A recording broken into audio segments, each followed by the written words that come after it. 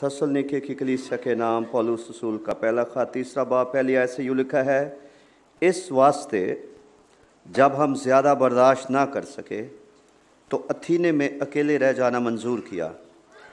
اور ہم نے تموتیس کو، جو ہمارا بھائی اور مسیح کی خوشخبری میں خدا کا خادم ہے، اس لیے بھیجا کہ وہ تمہیں مضبوط کرے اور تمہارے ایمان کے بارے میں تمہیں نصیحت کرے کہ ان مصیبتوں کے سبب سے کوئی نہ گھبرائے، کیونکہ تم آپ جانتے ہو کہ ہم ان ہی کے لیے مقرر ہوئے ہیں۔ بلکہ پہلے بھی جب ہم تمہارے پاس تھے، تو تم سے کہا کرتے تھے کہ ہمیں مصیبت اٹھانا ہوگا۔ چنانچہ ایسا ہی ہوا اور تمہیں معلوم بھی ہے۔ اس کے ساتھ پانچویں باب کی اٹھارہویں آیت ہم پڑھیں گے، لکھا ہے، ہر ایک بات میں شکر گزاری کرو۔ ہر ایک بات میں شکر گزاری کرو، کیونکہ مسیح یسو میں تمہاری بابت خدا کی یہی مرضی ہے۔ خدا کے کلام کے پڑھے اور سنے جانے پر اس کی برکت ہو۔ آج کی دنیا کا اگر جائزہ لیا جائے تو ہم ایک ایسی دنیا میں جی رہے ہیں جس کی نسل کو آج ہم تھینک لیس جنریشن کہہ سکتے ہیں۔ وی لیو ان اے تھینک لیس جنریشن ہم ایسی دنیا میں جی رہے ہیں جہاں انسان شکر گزار نہیں ہے۔ عام طور پر شکر گزار یعنی خدا کے شکر گزار نظر نہیں آتے ہیں۔ آخری زمانے کے مختلف نشانیوں میں سے ایک نشانی یہ بھی ہے کہ آخری دنوں میں لوگ ناشکرے ہوں گے۔ جو کچھ بھی ان کے پاس ہوگا اور وہ اس طور سے شکر گزار نہیں ہوں گے جیسے خدا چاہتا ہے۔ رومیوں کے خط کے پہلے باب میں پالوس اصول کے ذریعے سے خدا نے انسانوں کے بارے میں یہ گلہ کیا کہ گو، بہت سارے انسانوں نے بت پرستی چھوڑ کر، جھوٹے ادیان چھوڑ کر مسیحت کو قبول تو کر لیا بپتس میں لے لیے، توبہ کر لیے مسیحی نام رکھ لیے۔ لیکن انہوں نے خدا کی خدائی کے مطابق نہ شکر گزاری کی اور نہ اس کی تمجید کی۔ تو یہ گلہ ہے خدا خدا کا انسانوں سے کہ جیسا وہ ہے جیسے وہ کام کرتا ہے، جیسا وہ انسانوں کے ساتھ سلوک کرتا ہے، اس کے باوجود بھی جس طور سے خدا کی شکر گزاری کرنی چاہیے، ویسے انسان نہیں کرتے ہیں۔ عام طور پر کلیسیاؤں میں بھی وہ تمام لوگ جو خداون کے خون سے دھلے ہوئے ہیں، خدا کی پہچان رکھتے ہیں اور خدا سے گناہ گوں نعمتیں اور برکتیں حاصل کر چکے ہیں۔ کبھی کبھی عبادتوں میں ان کو بھی زور دے کر ابھارنا پڑتا ہے کہ وہ خدا کے حضور اپنا منہ کھولیں، خدا کی شکر گزاری کریں۔ اور اگر کسی جگہ جیسے ہمارے ہی اگر پانچ سات سو لوگ یہاں پر موجود ہیں، تو ہماری آواز شاید دوسری گلی میں نہ جاتی ہو۔ کیونکہ ہم ایک ایسے معاشرے میں جی رہے ہیں جہاں عام طور پر انسان ناشکنے ہیں اور ان کی اس روش کا رنگ ہم پر بھی چڑھتا ہے، ہم بھی اس سے متاثر ہوتے ہیں کیونکہ ہم اسی دھرتی، اسی معاشرے میں ہم رہتے ہیں۔ تو شکر گزاری کے بارے میں کسی نے کہا کہ تھینک فلنس تھینک فلنس یعنی شکر گزاری is a gauge that measures your level of love for God شکر گزاری ایک ایسا پیمانہ ہے جس سے ناپا جاتا ہے کہ ہمارے دلوں میں خدا کی کتنی محبت ہے۔ اگر ہم نے کسی کے کہنے ہی سے شکر گزاری کرنی ہے، تو شاید وہ اتنی کوئی باعث برکت نہ ہو اور خدا کو خوش کرنے کا باعث نہ بنے۔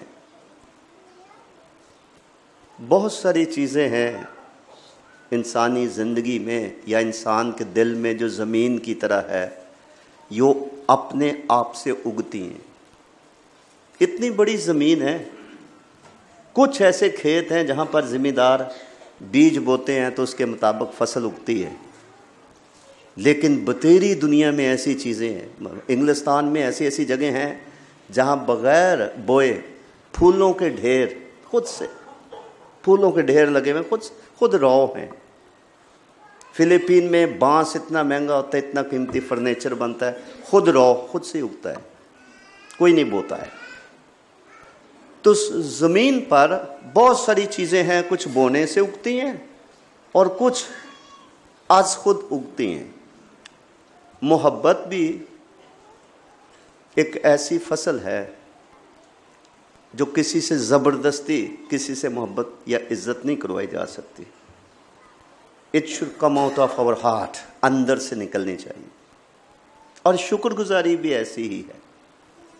اگر خدا بار بار ہم سے کہہ کے شکر گزاری کروائے، یا کسی انسان پر آپ احسان کرے، تو وہ آگے سے شکر گزاری نہ کرے، جو اکثر عام طور پر ایسا ہوتا ہے۔ تو اس کا کیا فائدہ کہہ کے کروائی جائے تو؟ اسی سے ہم اس بات کو سمجھ سکتے ہیں کہ ہم انسان کسی معاملے میں بھی اپنے مشاہدے میں ہمارے اندازے غلط ہو سکتے ہیں۔ خدا کا اندازہ یا خدا کی کہی ہوئی بات غلط نہیں ہو سکتی۔ تو جب خدا انسان سے گلا کرتا ہے تو اس کا مطلب ہے کہ یہ سچائی پر مبنی ہے اور انسان اس سلسلے میں کمزور پایا جاتا ہے۔ تو مختلف واقعات خدا کے کلام میں سے جب ہم پڑھتے ہیں، تو انسانی زندگی میں اور خصوصاً ایمانداروں کی زندگیوں میں جہاں اور کئی قسم کی کمیاں اور خامیاں نظر آتی ہیں، خدا کے ساتھ چلتے ہوئے وہاں ایک بڑا نقص ہم انسانوں کی روحانی زندگی میں جو ایک داغ دھبے یا جھری کی مانند ہو سکتا ہے، وہ ناشکرا پن ناشکرا پن کو سادہ الفاظ میں یہ بھی سمجھیے کہ ناشکرا پن ایسے ہی ہے جیسے اپنے لیے خود ہی آسمان بند کر لیا جائے۔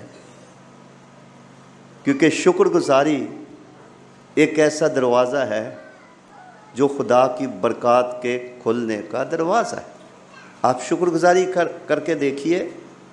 کسی لالچ کی تحت نہیں، خدا کے کلام کو سمجھ کر، ایمان سے، سنجیدگی سے، سچائی سے تو آپ دیکھیں گے کہ نت نئے برکات کے دروازے شکر گزاری کے وسیلے سے کھلیں گے، کیونکہ ایسا کرنے سے خدا کی عزت بھی ہوتی ہے، خدا کو خوش بھی کیا جاتا ہے اور خدا کی مرضی بھی پوری کی جاتی۔ ہے اب تھسل نکے کی کلیسیا کو جب پالوس رسول نے خط لکھا۔ تو تھسل نکے کی کلیسیا کا ایک بڑا مسئلہ تھا۔ پہلی بات تو یہ ہے کہ یہ یونانی لوگ تھے اور یہ بت پرست لوگ تھے۔ یہ دیوی دیوتاؤں کو ماننے والے لوگ تھے اور پالوس رسول اور دیگر خادموں کی کی خدمت، گواہی، پرچار کے نتیجے میں یہ مسیحی ہو گئے۔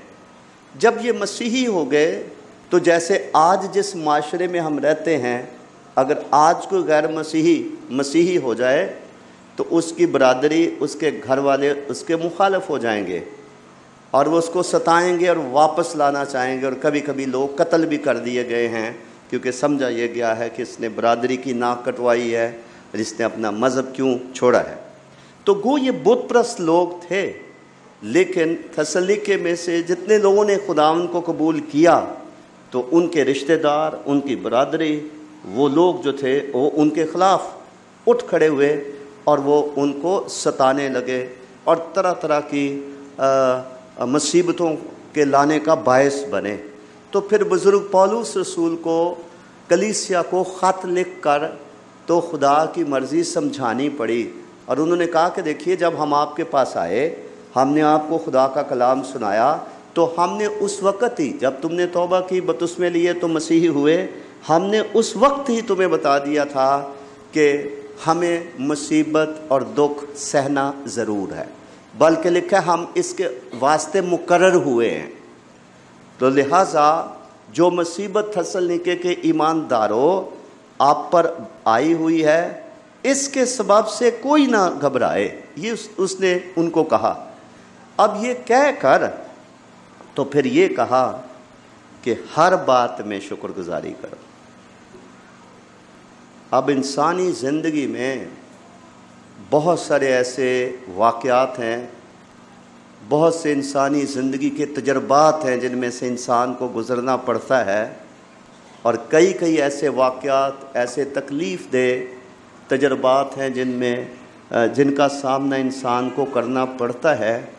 اور جب وہ اس آیت کو پڑھتا ہے کہ ہر بات میں خدا کی شکر گزاری کی جائے، یہ خدا کی مرضی ہے ہمارے بارے میں۔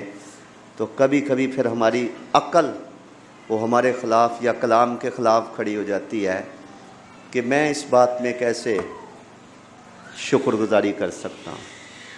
یہ کون سی شکر گزاری کرنے والی بات ہے جب انسان کو ظلم کا سامنا کرنا پڑتا ہے، کسی مصیبت کا سامنا کرنا پڑتا ہے، کسی نقصان یا گھاٹے کا سامنا کرنا پڑتا ہے اور اس کو کہا جائے کہ سب چیزیں مل ملا کر خدا سے محبت رکھنے والوں کے لیے بھلائی پیدا کرتی ہیں، لہٰذا تو شکر گزاری کر۔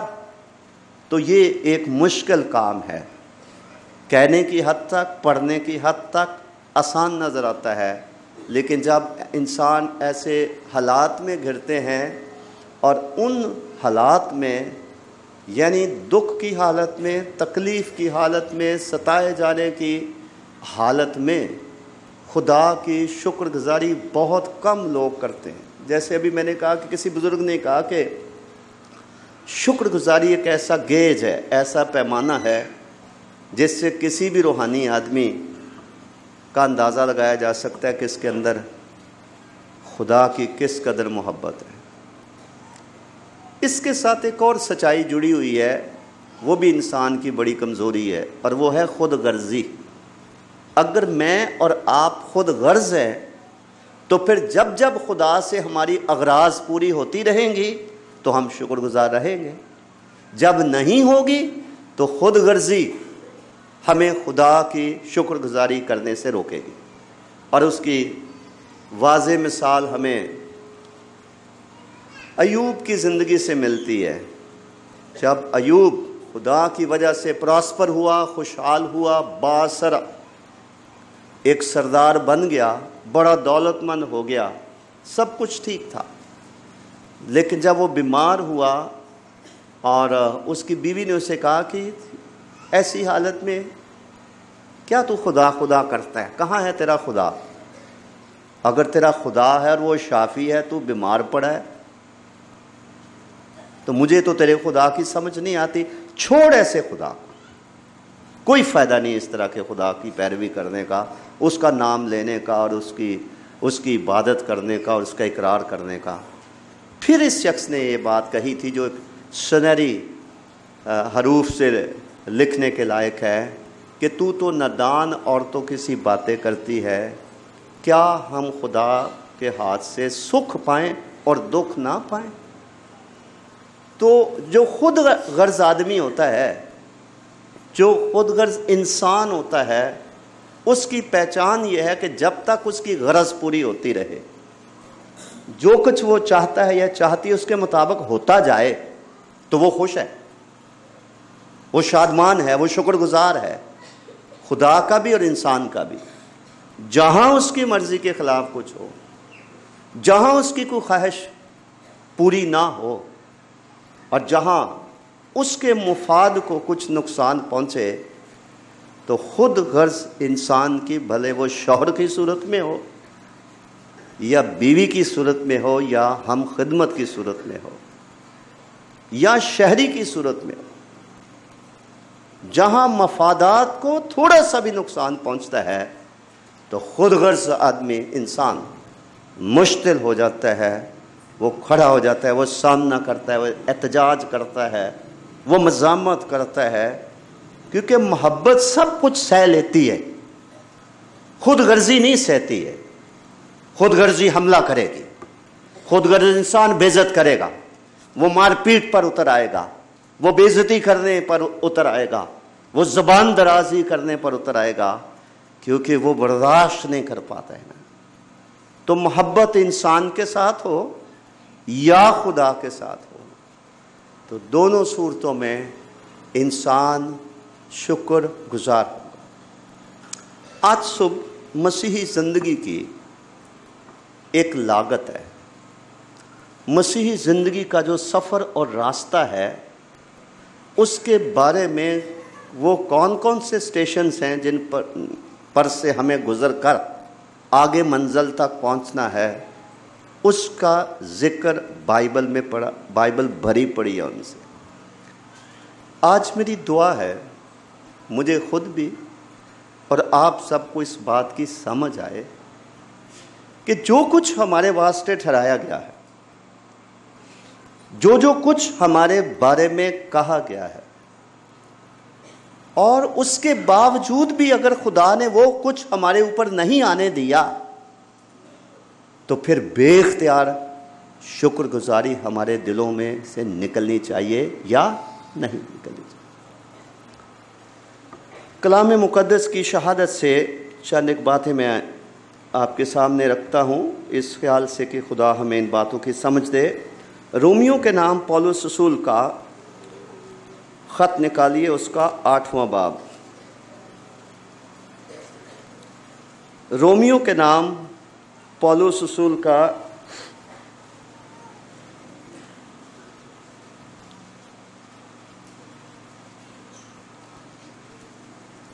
خط اس کا آٹھواں باب اور اس کی پینتیسویں آیت میں سات باتیں لکھی ہوئی ہیں۔ سات باتیں لکھی ہوئی ہیں باحثیت کرسچن۔ ہمیں ان کا سامنا کرنا پڑے گا کسی نہ کسی روز۔ اور وہ سات باتیں کیا؟ سب سے پہلی بات جو مسیحی زندگی میں جس کے ساتھ ہمارا واسطہ پڑھنا ہی پڑھنا ہے یا پڑھ سکتا ہے، وہ ہے مصیبت۔ مصیبت۔ جیسے میں نے آپ کو بتایا کہ تھسل نکے کی کلیسیا۔ تھسل نکے کی کلیسیا نے جب خداون کو قبول کیا تو اپنوں ہی نے ان کے خلاف کھڑے ہو کر تو طرح طرح کی مصیبتیں یا مصائب ان کے لیے کھڑے کر دیے۔ اور وہ بڑے پریشان ہو گئے کہ ہم نے تو اچھا حصہ چنا تھا۔ ہم نے تو سچائی کو پسند کیا اور راہ حق اور سچائی کے دعوے دار کو ہم نے اپنا خداون مان لیا۔ ہم نے کیا قصور کیا کہ لوگ ہمارے مخالف ہو گئے ہیں؟ کیوں یہ ہمیں ستاتے ہیں؟ کیوں یہ ہمارے لیے مختلف قسم کی مصیبتیں کھڑی کرتے ہیں؟ تو مصیبت کے بارے میں پھر پالوس نے کہا کہ یہ کوئی انوکھی بات نہیں ہے جو تمہارے ساتھ ہوئی ہے۔ جب ہم شروع شروع میں خدا کا کلام لے کر تمہارے علاقے میں آئے تھے، ہم نے اس وقت ہی تمہیں بتا دیا تھا کہ کرسچن لائف کو اتنی آسان زندگی تھوڑی ہے، یہ مذہب کو اتنا آسان راستہ تھوڑی ہے۔ یہ تو سلیبی راستہ ہے۔ یہ تو مسیح کے نقش قدم پر چلنا ہے۔ مسیح نے خود کہا تھا کہ جب انہوں نے ہرے درخت کے ساتھ ایسا کیا، تو سوکھے کے ساتھ کیوں نہ کریں گے؟ مسیح نے تو خود کہا کہ میرے نام کی خاطر، میرے نام کی خاطر سب قومیں تم سے دعوت رکھیں گی، تمہیں ستائیں گی، تمہیں عدالتوں میں پیش کریں گی۔ میرے نام کی خاطر وہ تمہیں برا جانیں گے۔ برا جانیں گے۔ تو بزرگ پالو سل نے تھسلنکے کی کلیسیا کو یہ بات کہی، جس کے بارے میں ابھی ہم پڑھ چکے ہیں کہ جب ہم تمہارے پاس آئے تھے تو ہم تم سے کہا کرتے تھے کہ ضرور ہے کہ ہم بہت ساری مصیبتیں سہیں اور پھر خدا کی بادشاہی میں داخل ہوں اور ہم انہی کے واسطے مقرر بھی ہوئے ہیں، لہٰذا ان مصیبتوں سے کوئی نہ گھبرائے۔ بلکہ ہر بات میں جس میں مصیبت بھی شامل ہے، ہر بات میں خداون کی کیا کی جائے؟ شکر گزاری کی جائے۔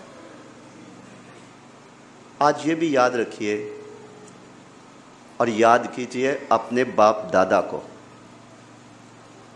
اگر ہمارے باپ دادا نے کبھی آج سے کوئی سو سال پہلے مسیحی مذہب کو یا ایمان کو قبول نہ کیا ہوتا تو آج مجھے اور آپ کو توبہ کر کے مسیح کو قبول کرنا پڑتا اس ملک میں رہ کے، تو پھر اس کی کل لاگت فرق ہوتی۔ انہوں نے ہمارے لیے آسانی پیدا کر دی۔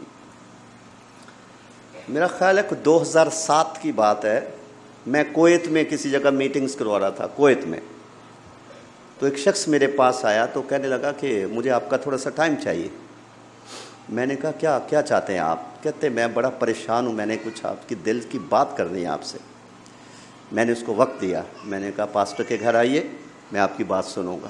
وہ شخص آیا میرے پاس، وہ غیر مسیحی تھا اور وہ افغانستان سے تھا۔ تو میں نے کہا، بتائیں، کیا تکلیف ہے آپ کو؟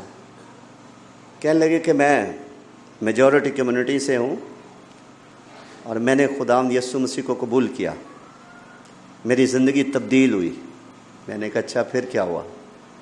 کہنے لگا، آہستہ آہستہ، ڈرتے ڈرتے میں نے اپنی بیوی کو کہا کہ میں نے ایک نیا راستہ پہچان لیا اور سچا یہی ہے۔ اور جب سے میں نے اس کو جانا، میرے دل میں بڑا سکون اور اطمینان اور ہمیشہ کی زندگی کا یقین ہے۔ تو میں چاہتا ہوں کہ تو بھی میری ہم خیال ہو جا اور مسیح پہ ایمان لیا تو اس کی بیوی نے اس کو کہا کہ نہیں، یہ کیسے ہو سکتا ہے؟ اس کا مطلب تو ایسا ہی ہو گیا اس نے کہا مطلب تو یہی ہے۔ اس خاتون نے اپنے باپ کو بتایا کہ ہماری ازدواجی زندگی میں ایک نیا موڑ شروع ہو گیا ہے۔ انہوں نے ساری ڈیٹیل پوچھی۔ تو انہوں نے اپنے دماد کو بٹھایا۔ اس کو سمجھایا کہ تو اس بات سے باز آ جا اور یہ اچھا نہیں ہوگا۔ اس نے کہا، جو راستہ میں نے جان لیا ہے میری جان بھی چلی جائے، میں اس کو چھوڑ نہیں سکتا۔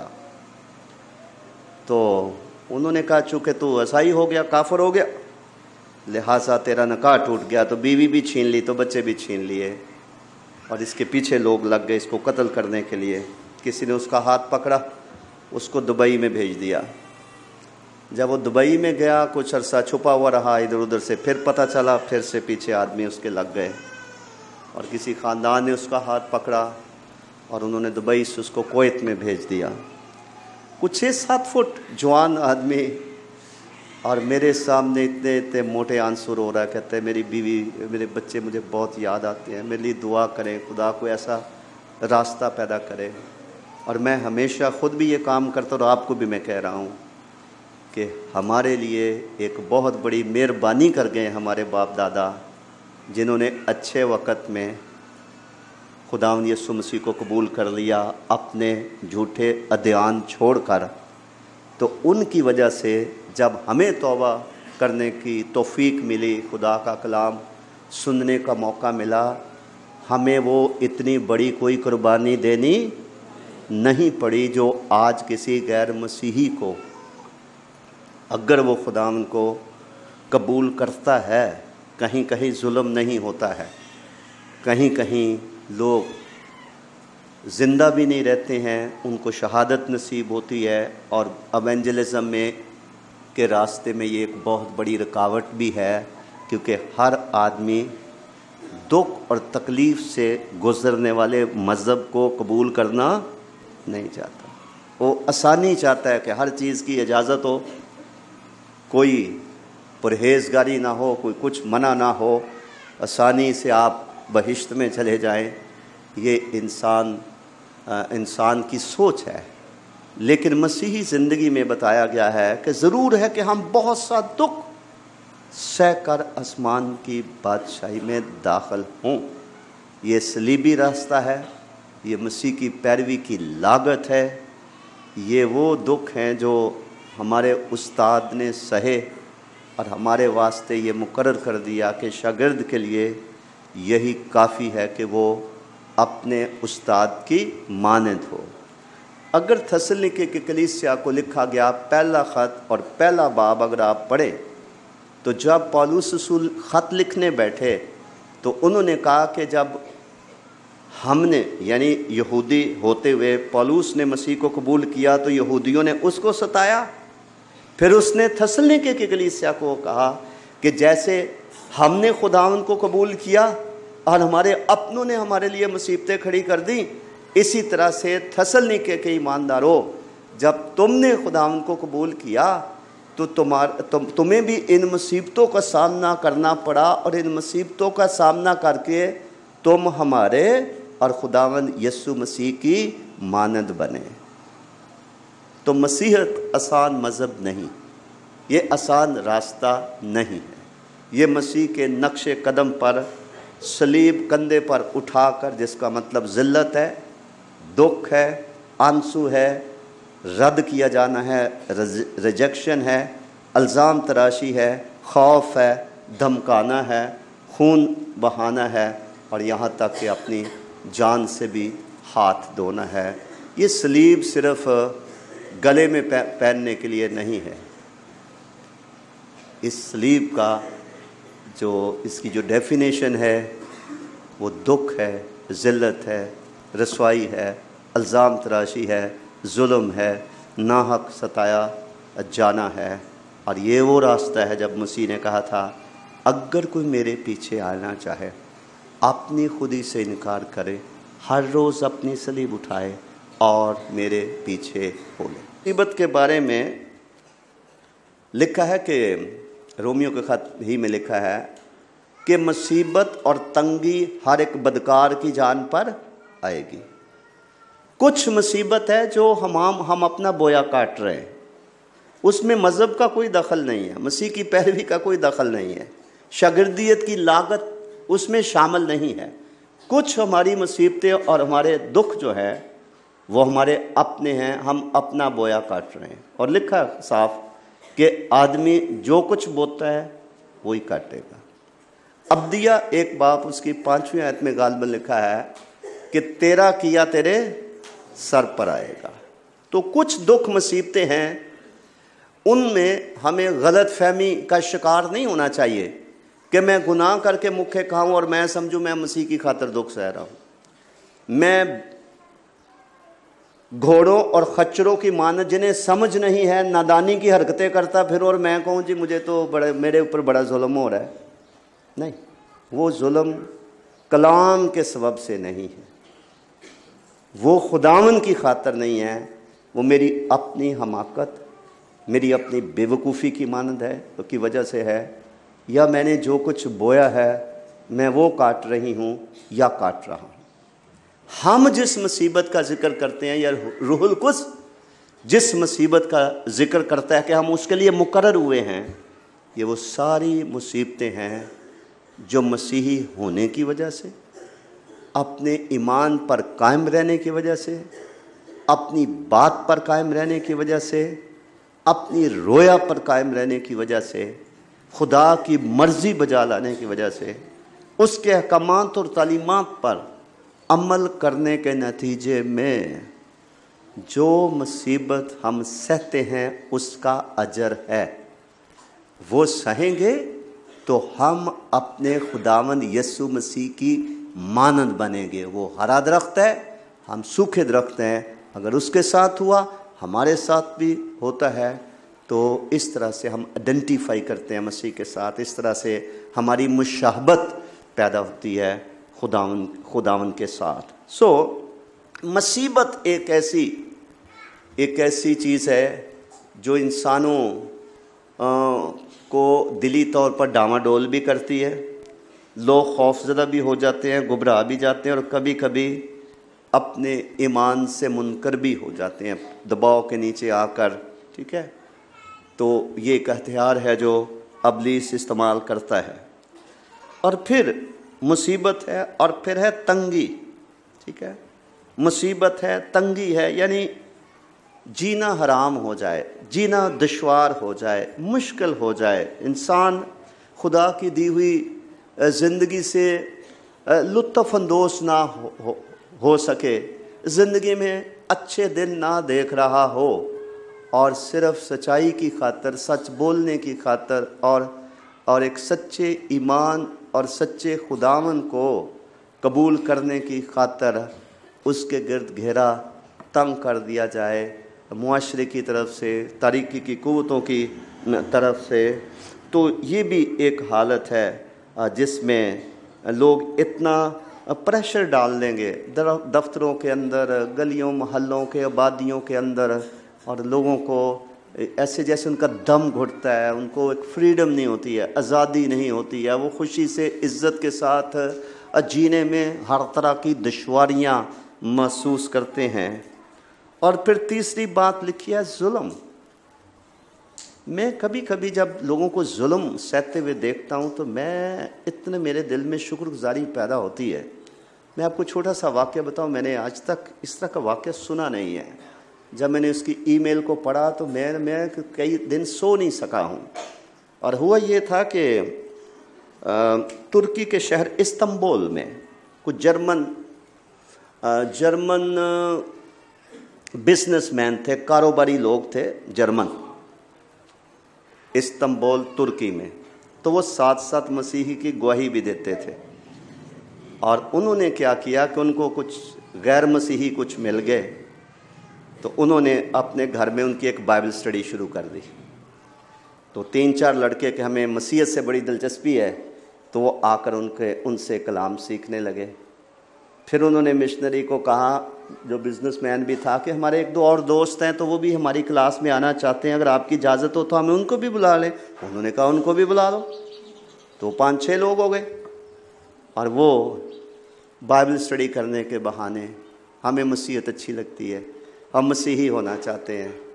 تو یہ کلاس ہو رہی ہے۔ ایک دن ان میں سے دو آدمی اسلحے کے ساتھ اور اپنے ساتھ خنجر چھپا کر لائے۔ اور انہوں نے کیا کیا کہ اس مشنری کو جو اس دن ان کو تعلیم دے رہا تھا، اس کو انہوں نے رسوں سے باندھا اور باندھ کر تو خنجر نکال کر پہلے اس کے ہونٹ کاٹے۔ اس کے بعد انہوں نے اس کی انگلیاں کاٹی، پھر اس کی ہتھیلی کاٹی، پھر اس کا ناک کاٹا۔ جسم کا ایک ایک عزو اس شخص کا کاٹ کر، پھر اس کو شوٹ کر کے، دروازہ لاک کر کے، تو وہ دیواروں سے پھانک کر، پھلانگ کر تو غائب ہو گئی۔ کیونکہ وہ فارنرز تھے، وہ کسی ایسی جگہ جہاں امیر لوگ رہتے ہیں، وہاں وہ رہتے تھے، پولیس کو پتہ چلا۔ وہ انہوں نے تالے والے توڑے۔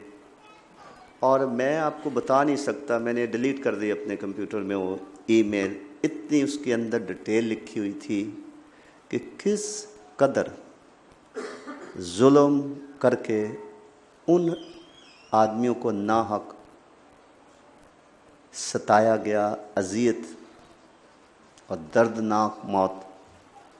یا شہادت کا انہوں نے سامنا کیا۔ میں جب ان واقعات کو دیکھتا ہوں، تو میں کبھی کبھی اکیلا بیٹھ کے میں خدا کی شکر گزاری کرتا ہوں۔ میں کہتا ہوں خداون ہم نے تو ابھی اتنا سا ظلم بھی تیرے لیے نہیں سہا ہے۔ ہم کس دنیا میں رہ رہے ہیں؟ مطلب جتنی اگر ہم ایک ترازو ہمارے پاس ہو، اگر جو جو برکات خدا نے ہمیں دی اگر ایک پلڑے میں ہم وہ ڈالیں اور دوسری طرف ہم دیکھیں کہ خدا کی خاطر کتنا کچھ ظلم ہمارے اوپر ہوا ہے۔ پھر بے اختیار ہم خدا کی شکر گزاری کرنے لگے کیونکہ ہم ایک ایسی دنیا میں، ایک ایسی روش میں جی رہے ہیں جہاں ٹھنڈے دل کے ساتھ سوچنے کا وقت، گیان دھیان کرنے کا وقت، غور و خوص کرنے کا وقت انسان کے پاس نہیں ہے۔ ویسے دوڑتا جا رہا ہے، سائے کے پیچھے دوڑتا جا رہا ہے، دوڑتا جا رہا ہے، دوڑتا جا رہا ہے۔ اتنا وہ مصروف ہے کہ وہ کبھی تسلی سے خدا کی نعمتوں کا شمار نہیں کرتا ہے۔ کبھی وہ سوچتا نہیں ہے کہ خدا نے مجھے کتنا نوازا۔ کلام کے مطابق تو اتنا کچھ ہے جس میں سے گزرنا پڑتا ہے۔ پڑھنا پڑھنے کا اندیشہ ہے۔ لیکن خدا کی کتنی مہربانی ہے کہ خدا نے مجھے نہیں پڑھنے دیا۔ چند ماہ پہلے کوئٹہ میں کچھ غیر مسیحی مسیحی ہو گیا۔ دوسروں کو پتہ چلا، انہوں نے راستے میں اس کو شہید کر دیا۔ ہم نے کیا کیا سہا ہے؟ مسیحی زندگی میں تو مصیبت سہنا لکھا اس کے لیے ہم بلائے گئے۔ ہیں پھر تنگی ہے، ظلم ہے ظلم ہے۔ آپ کے چائنا کی میرا خیال ہے دو مشنری بائیس سے پچیس سال کی عمر، لڑکا لڑکی ینگ۔ کوئٹے میں جھیل کی منادی کر رہے تھے۔ ان کو اغوا کر لیا گیا۔ جسم کے ٹکڑے ٹکڑے کاٹ کے تو ان کو پھینک دیا گیا۔ اپنا ملک چھوڑ کر آئے تھے اس مسیح مسلوب کی خاطر۔ جنہوں نے یہ نہیں کہ مصیبت میں انہوں نے مدد نہیں کی، انہوں نے کہا ہوا ہے کہ جان دینے تک بھی کیا رہا ہے؟ رہا ہے۔ تو میں تجھے زندگی کا تاج دوں گا۔ تو جب ہم مصیبت کے آئینے میں اپنے آپ کو دیکھتے ہیں کہ آج تک میں نے کتنی کو مصیبت خدا ان کی خاطر صحیح ہے۔ جب ہم تنگی کو دیکھتے ہیں تو کتنی کو تنگی ہے۔ خدا نے ہمیں کچھ شادگی بخشی ہے۔ باعزت روزگار ہم کر رہے ہیں۔ سرکاری کئی محکموں میں اعلیٰ اعلیٰ عہدوں پر ہمارے لوگ بیٹھے ہوئے ہیں۔ بڑی عزت ہے ان کی۔ بڑی عزت خدا نے دی ہے۔ ادارے آپ اپنے قائم کر سکتے ہیں۔ عبادت ہم آسان آزادی سے کر رہے ہیں۔ میوزک کا شور اور ہماری عبادتوں کا شور ارد گرد سارے لوگ برداشت کر ہی رہے ہیں نا۔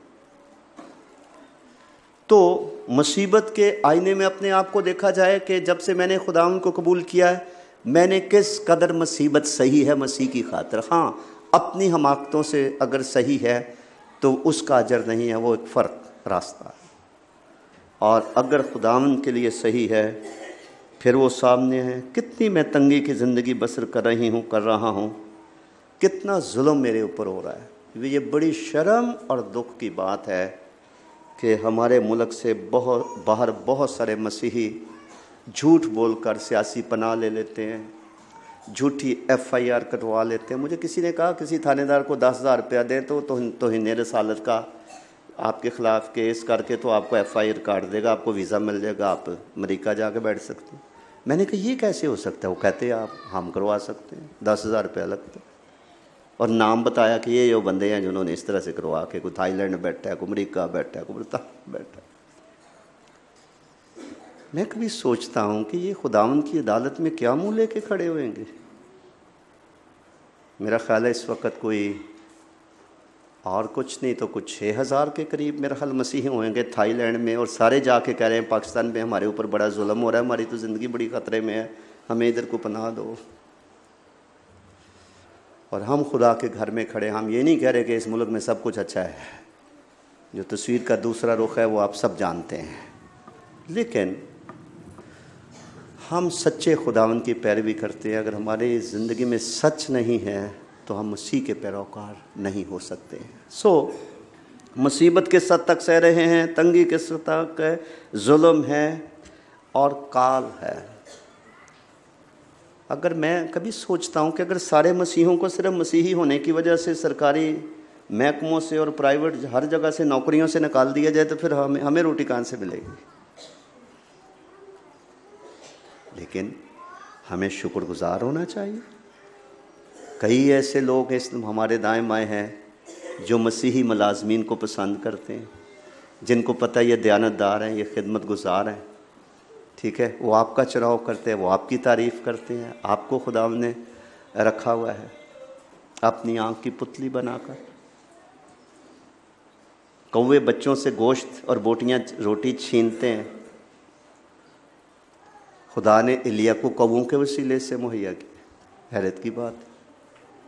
اور آج آج کے دور میں ہم اس بات کے گواہ ہیں کہ اس ملک میں جہاں جہاں خدا نے آپ کو عزت دی ہے، جہاں آپ حلال کی کمائی کھا رہے ہیں، اپنی محنت، اپنی صلاحیتوں کے بلبوتے پر آپ کسی نہ کسی عہدے پر ہیں، مقام پر ہیں، اور قانون آپ کا ساتھ دیتا ہے، خدا آپ کا ساتھ دیتا ہے، اور آپ کے یہاں تک کہ غیر مسیحی جاننے والے بھی اگر آپ کے ساتھ کھڑے ہوتے ہیں، تو کیا یہ چھوٹی بات ہے کیا ایسا نہیں ہے کہ جیسے ایلیا کو کووں کے ذریعے سے خدا نے خوراک کھلائی جو کہ چھیننے والے ہیں؟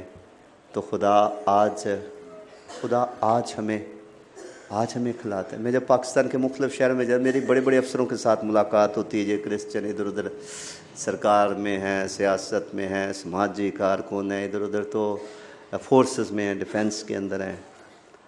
تو ہمارا دل شکر گزاری سے بھر جاتا ہے کہ پیچھے ان دکھا خدا، اس کی حمایت ہے کہ خدا غریب گھرانوں سے بچے پڑھ کر آج مقابلے کے امتحانوں میں کامیاب ہو رہے ہیں اور خدا اچھی اچھی جگہ ان کے لیے پیدا کر رہا ہے۔ یہ خدا کی مہربانی ہے۔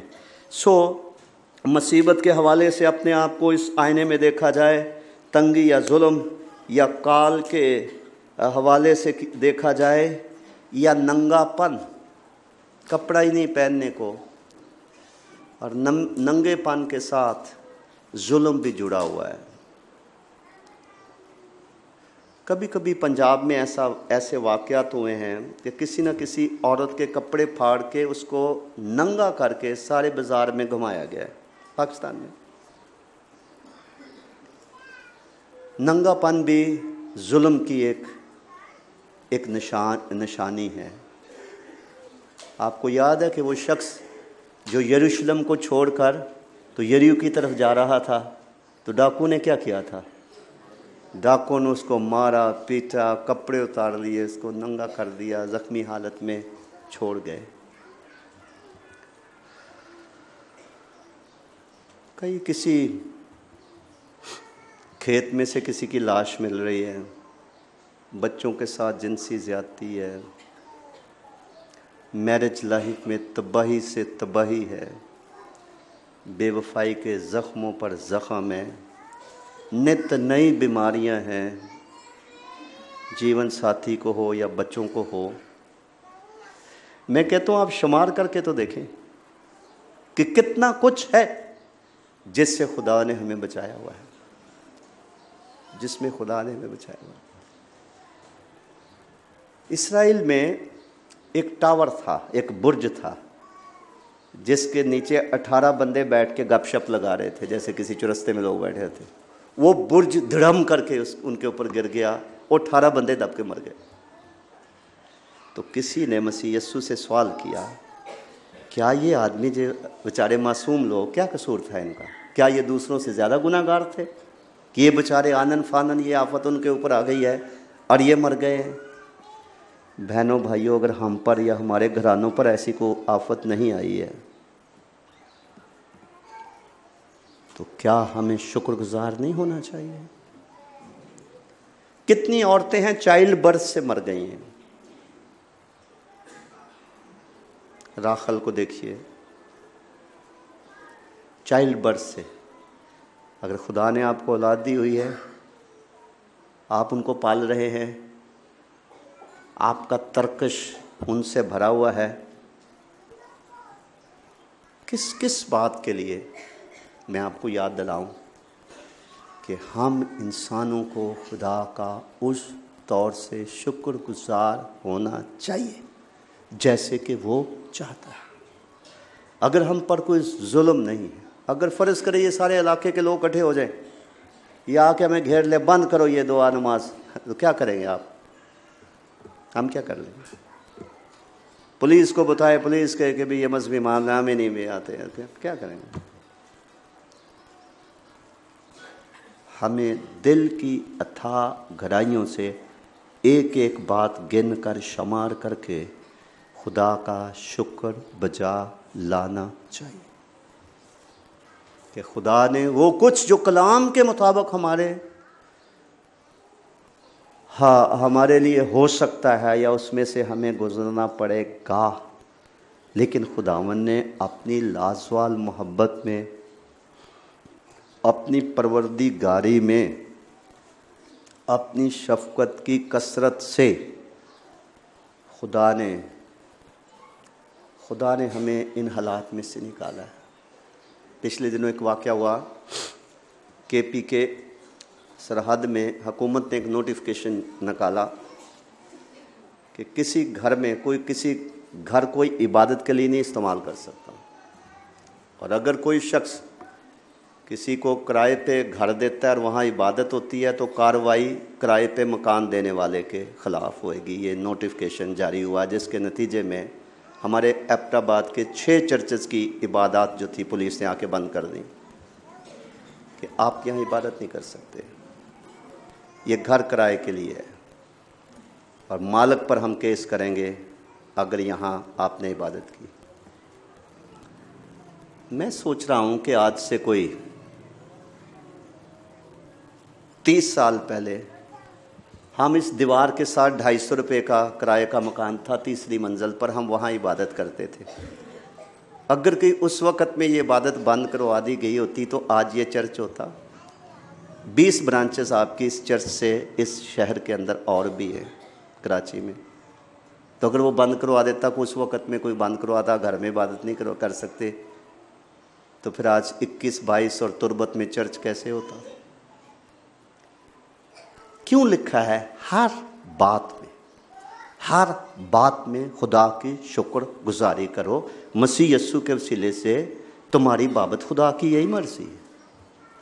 تو جب ہم ان چیزوں پہ سوچتے نہیں ہیں، غور نہیں کرتے ہیں، جیسے گاڑی زندگی کی چل رہی ہے، چلتی جا رہی ہے، چلتی جا رہی ہے، اور گو ہم گاتے ہیں کہ ایک سو تین زبور کے آئے میری جان خداون کی کسی نعمت کو فراموش نہ کر۔ لیکن کرتے ہم فراموش۔ اس طور سے یاد نہ کرنا، غور نہ کرنا، گیان دہان نہ کرنا۔ اور میں سمجھتا ہوں کہ اگر کبھی بھی کلیسیا میں اوور نائٹ پرے رکھی جائے، ساری رات کی دعا، تو وہ کھلا ٹائم ہوتا ہے انسان کے پاس۔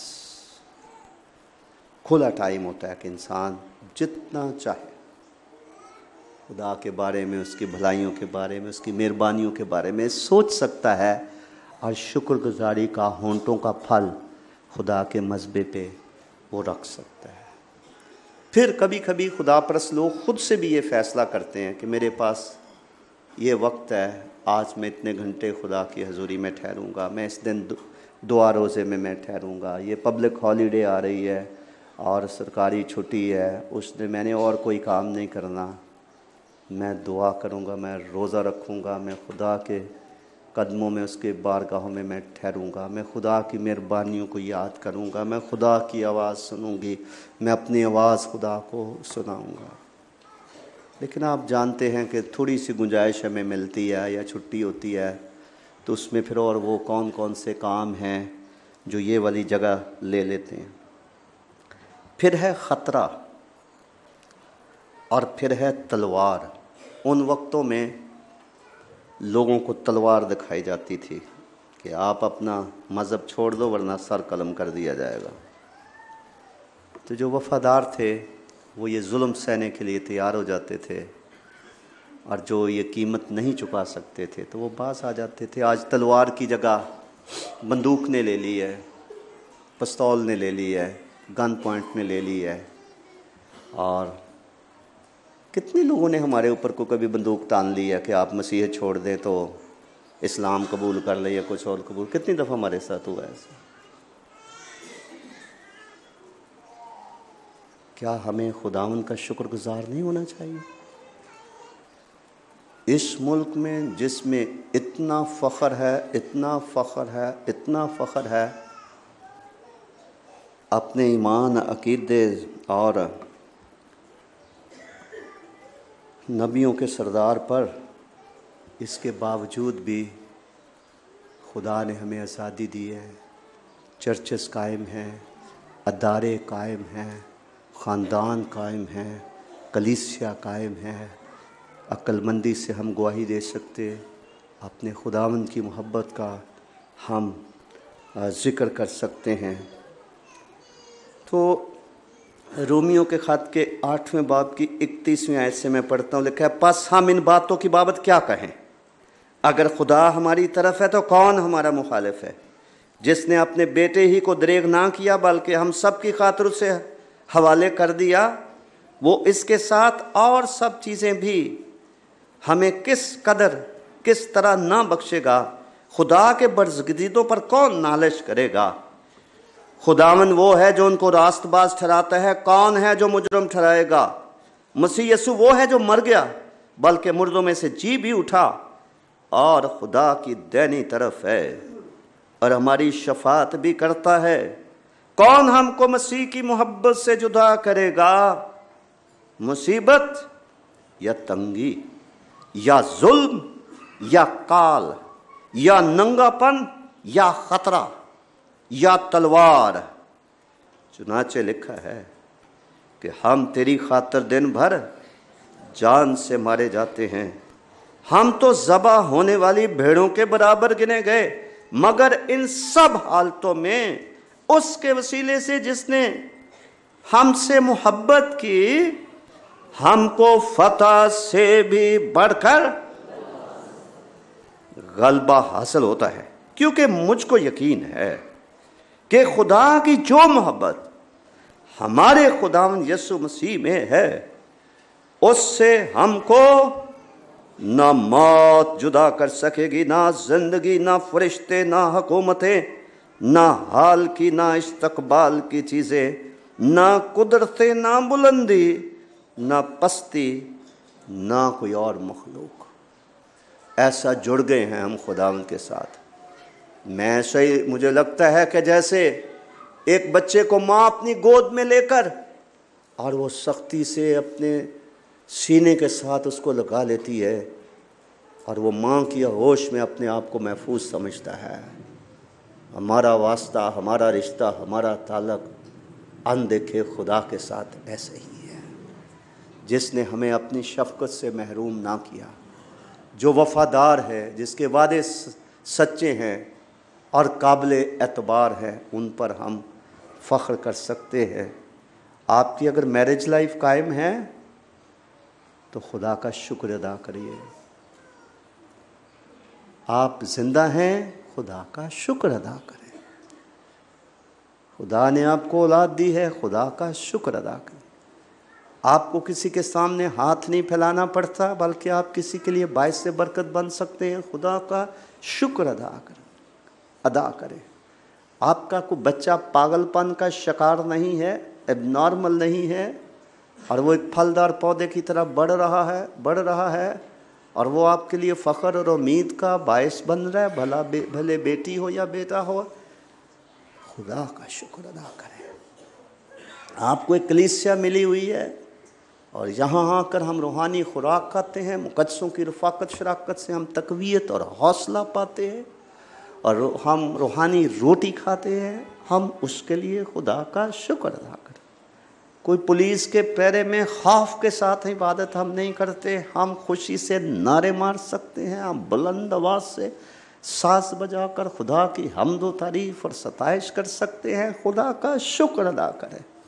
آپ کے کسی بچے کے ساتھ کوئی جنسی زیادتی نہیں ہوئی ہے جس سے یہ کئی ایسے واقعات ہیں جو انسان دبا دیتا ہے اور وہ کسی کے ساتھ شیئر نہیں کر سکتا۔ اس طرح کا ظلم آپ کے ساتھ نہیں ہوا ہے۔ خدا کا شکر ادا کریں۔ کسی کے شوہر یا بیوی نے اس کے ساتھ کوئی بے وفائی نہیں کی ہے اور وہ ایک دوسرے کے ساتھ ایک صاف دلی سے، وفاداری سے زندگی کا سفر جاری رکھے ہوئے ہیں۔ خدا کا شکر ادا ادا کریں۔ خدا کا شکر ادا کریں۔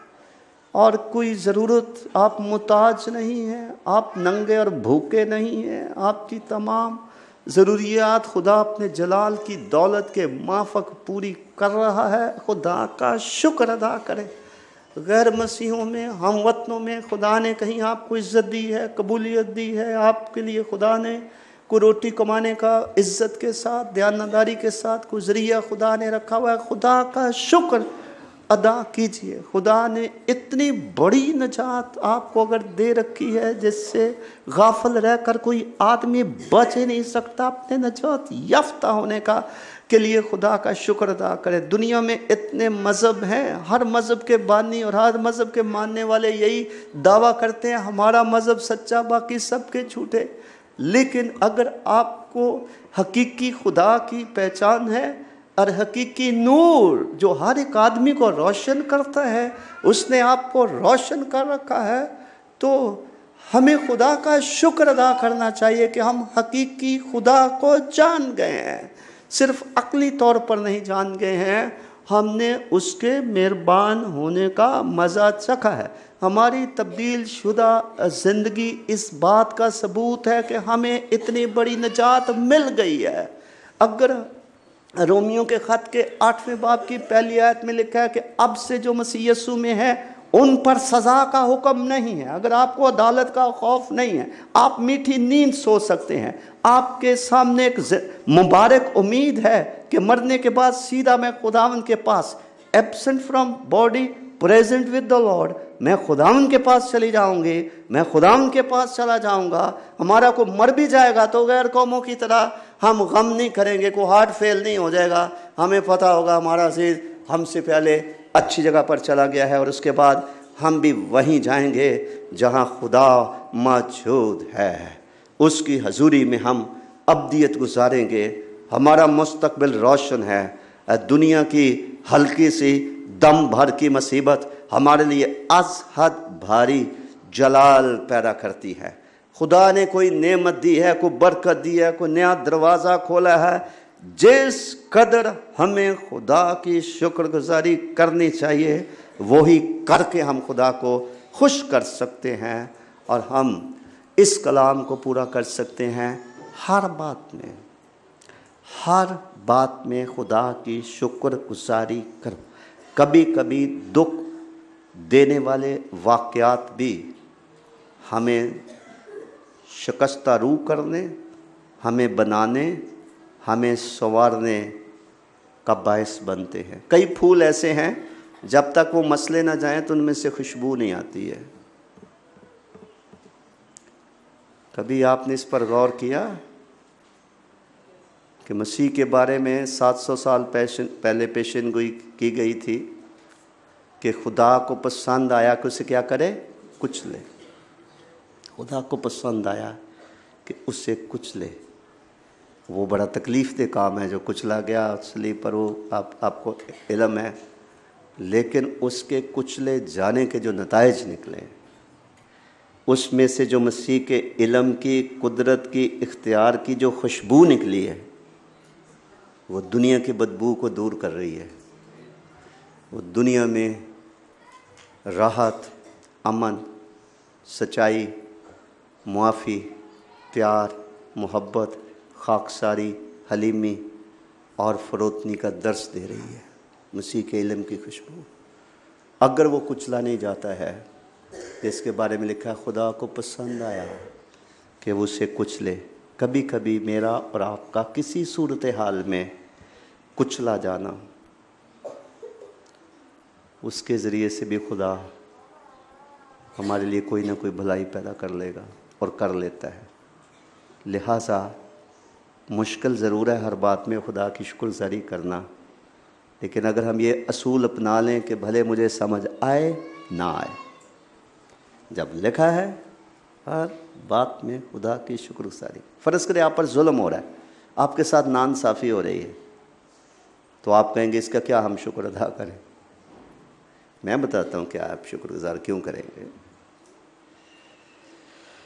جب آپ اس حالت میں ظلم، زیادتی نان صافی کلام کی خاطر آپ اور میں برداشت کریں گے، عقل تو کہے گی کہ تیرا خدا کہاں ہے؟ تیری مدد نہیں کرتا۔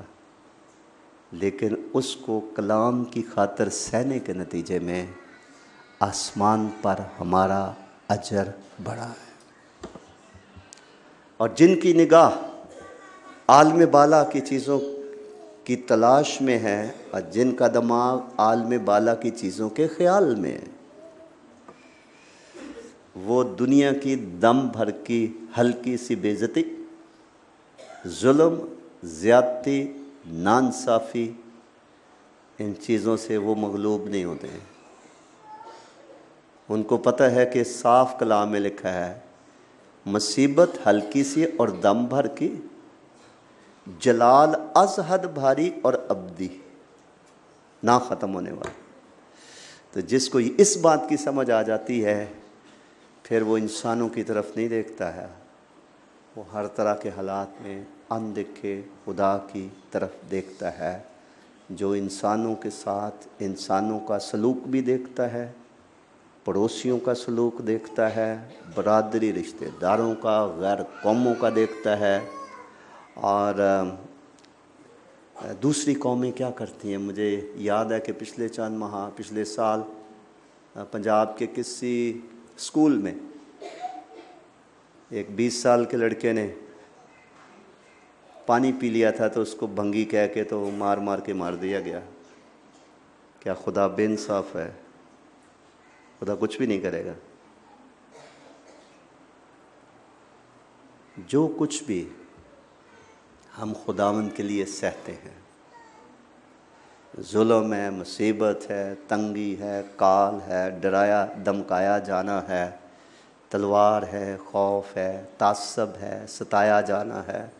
بدنام کیا جانا ہے، منہ پر بےزت کیا کیا جانا ہے۔ مذہبی بحث کے سلسلے میں اور کئی رویوں میں۔ ایک بات یاد رکھیے کہ خدا جس نے مجھے آنکھیں دی ہیں وہ میرے سارے حال کو خود بھی دیکھ رہا ہے اور وہ اپنے طالبوں کو بدلا دیتا ہے۔ وہ بے انصاف نہیں ہے کہ اس محنت اور اس محبت کو بھول جائے جو ہم اس کے ساتھ کرتے ہیں اور اس کے کلام کے ساتھ کرتے ہیں۔ اور ہم نے اپنی گردن اس کے کلام کے جوئے میں دی ہوئی ہے کہ جو کچھ تو کہے گا، جو کچھ تو نے تعلیم دی ہے، میں اس پر عمل کروں گا۔ میں اس پر عمل کروں گی۔ لہٰذا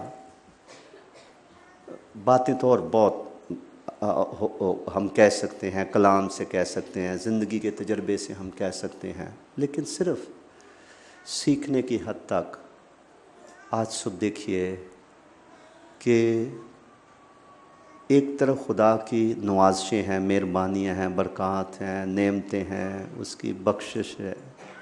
اس کی چشم پوشی ہے، اس کی درگزر ہے، اس کا ہمیں ڈھانپنا ہے۔ یہ بھی ایک بڑی خدا کی مہربانی ہے کہ خدا کسی کو بدنام نہ ہونے دے۔ خدا کسی کی زندگی کی یا ازدواج کی کشتی کو ڈوبنے نہ دے۔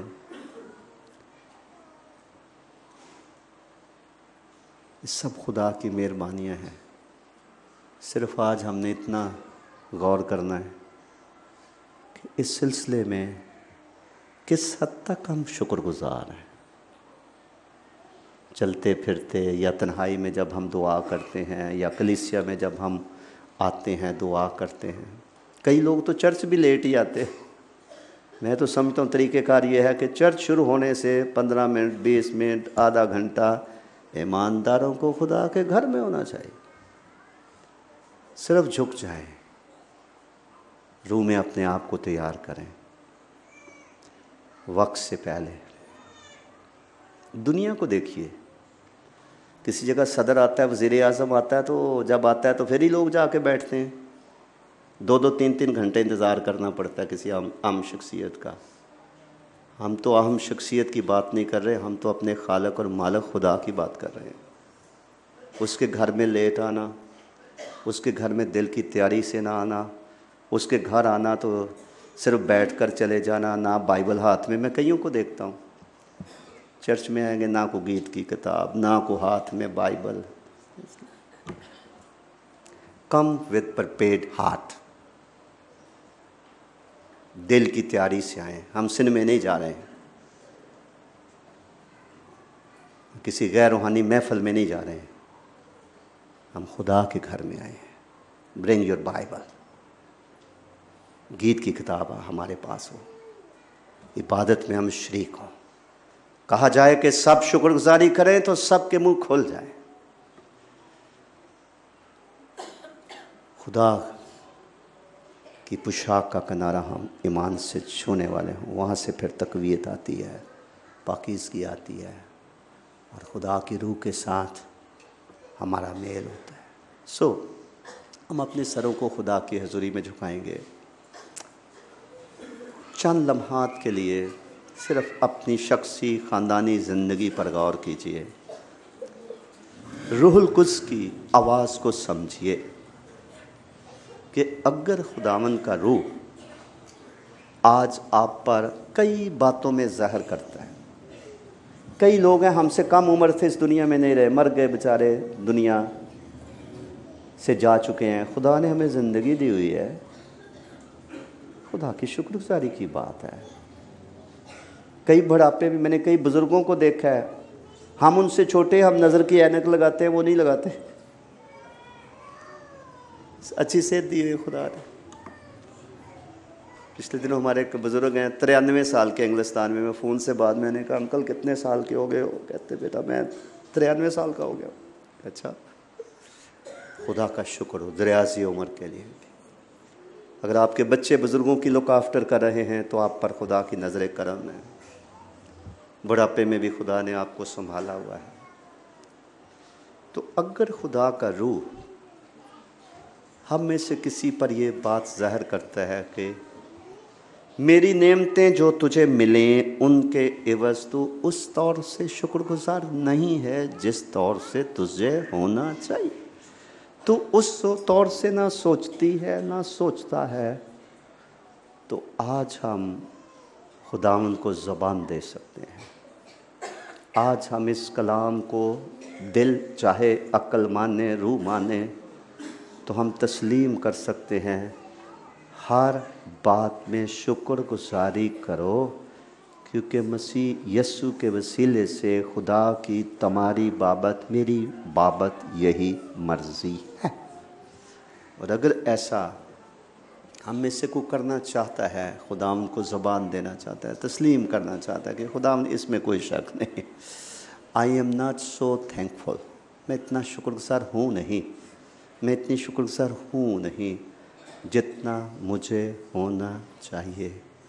آج سے میں اس کمی کو دور کر کے اٹھتے بیٹھتے، چلتے، پھرتے، کام کرتے، انسانی زندگی بسر کرتے روز مرہ کی زندگی میں میں تیرا شکر، کسی کے کہے بغیر میں تیرا شکر بجا لاتا رہوں گا، شکر کرتی رہوں گی، تیری نعمتوں کو میں شمار کروں گا، شمار کروں گی اور میں تیرے حضور شکر گزاری کی قربانی اپنے ہونٹوں کے پھل کے وسیلے سے میں تیرے حضور میں گزرانوں گا، گزرانوں گی۔ اگر کوئی ایسا کرنے کی تحریک اپنے اندر رکھتا ہے تو اپنے قدموں پر آپ کھڑے ہو سکتے ہیں تاکہ ہم سب شکر گزاری کرتے ہوئے خدا کی بار گاہوں میں داخل ہوں۔ اور نا پن، یہ کمی نہیں ہے، یہ گناہ ہے۔ یہ گناہ ہے۔ شریعت نا شکروں کے لیے مقرر ہوئی ہے نا فرمانوں کے لیے مقرر ہوئی ہے۔ دنیا کا رنگ ہم اپنے اوپر نہ چڑھنے دیں۔ دنیا جیسے جینا چاہتی ہے، وہ جیتی رہے۔ ان کی زندگی ان کے اختیار میں ہے۔ ہماری زندگی کسی کے اور کے اختیار میں ہے۔ یسو ہمارا خدا مند ہے۔ ہم نے اس کو اپنے دل کے تخت پر بٹھایا ہوا ہے۔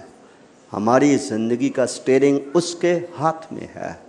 ہم اس کے حکم، اس کی تعلیم، اس کی منشا یا مرضی کے مطابق ہم زندگی گزارنے کے پابند ہیں۔ ہم اس لیے بلائے گئے ہیں کہ ہم جئیں یا مریں، ہم اس کو خوش کریں، ہم اس کو خوش کریں۔ اور وہ کون سا ہم سے کوئی بڑے بڑے ہدیہ جات اور چڑھاوے مانگتا رہا ہے؟ وہ تو صرف یہ کہہ رہا ہے کہ ہم صرف تھینک یو کہہ دیں۔ شکر ہو تیرا خداون جس حالت میں، جس حیثیت میں۔ جس مقام پر آپ نے مجھے رکھا ہوا ہے، میں شکر گزار ہوں خداون مجھے افسوس اس بات کا ہے کہ جس قدر مجھے آپ کی شکر گزاری کرنی چاہیے تھی۔ اس طور سے میں نے کبھی سوچا نہیں ہے، کبھی کی نہیں ہے، لیکن آج صبح میں اپنے آپ کو تیرے فضل کے کلام کے سپرد کرتی ہوں، کرتا ہوں خداون تو میری مدد کر۔ اس لالچ سے نہیں کہ اور برکات کے دروازے میرے لیے کھلیں۔ اس لالچ سے نہیں۔ بس اس غرض سے خدا کی خدائی کہ تو خدا ہے، تو باپ ہے اور تو مجھ پر مہربان ہے۔